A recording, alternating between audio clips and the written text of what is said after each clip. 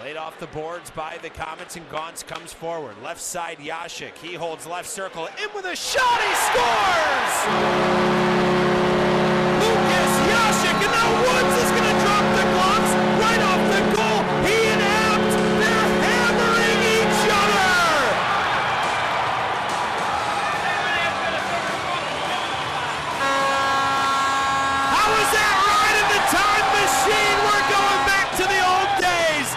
Brendan Woods' dad, Bob, was playing in this building as he fires up the crowd on his way down the tunnel. Oh, it's worth the price of admission. Jasek goes five hole and scores. Woods turns into a bully and beats up Matt Abt.